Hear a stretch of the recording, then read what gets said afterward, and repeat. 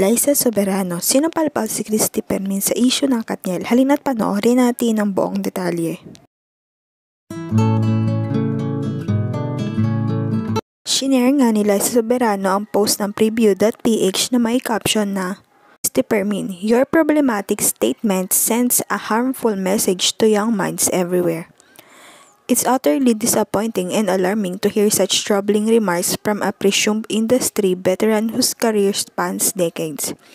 One would expect a seasoned professional to wield their influence responsibly, especially in a society that should be evolving towards more enlightened and progressive discourse. Instead, Christy Permin and her colleagues chose words that recycle age-old stereotypes and reinforce the problematic notion that a woman's value is intrinsically tied to her looks.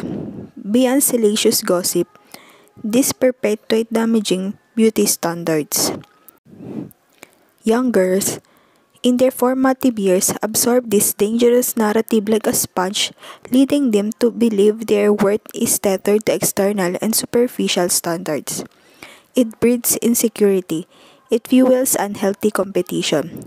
It reduces women to a single superficial metric promoting regressive ideals that we should be moving past. Alam namang nating palaban talaga si Raisa Soberano at magsasalita siya kung alam niyang nasa tama siya. Grabe rin naman ang pang-body shame ni Christy Permin kay Catherine noon. Sinabihan siyang dry, manang, walang dating, flat lips at flat boobs. Maraming netizens nga ang nainis sa kanya dahil sa mga binitawang salita ni Christy Permin.